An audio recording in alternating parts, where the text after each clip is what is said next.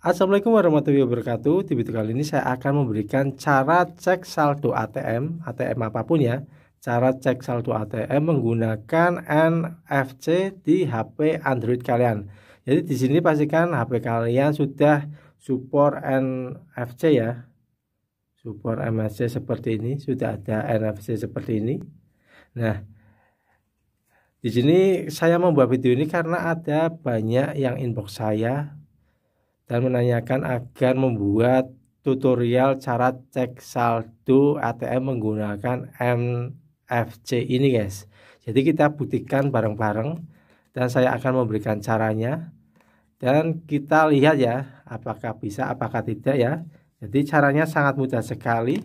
Nah yang pertama kalian sediakan HP kalian HP yang support MFC dan sebuah kartu ATM ya yang jelas kartu ATM-nya masih aktif harus masih aktif. Ini saya menggunakan BRI kalian bisa menggunakan ATM yang lainnya sesuai dengan yang kalian punya guys.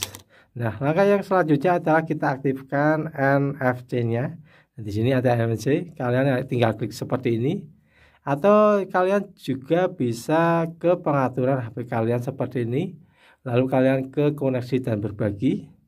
Dan kalian pilih NFC ini ya Nah, seperti ini ya.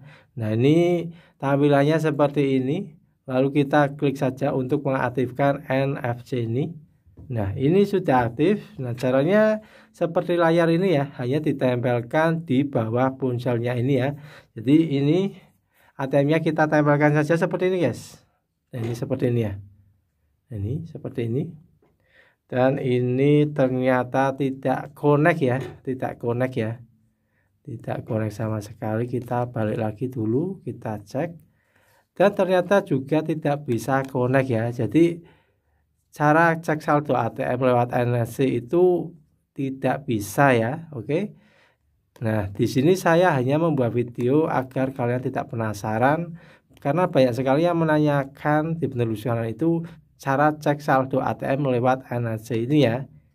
Jadi ini saya buatkan videonya agar kalian tidak penasaran lagi bahwa ATM tidak bisa dicek menggunakan MSC seperti ini guys. Oke? Silahkan kalian mencobanya jika kalian belum percaya dan buktikan sendiri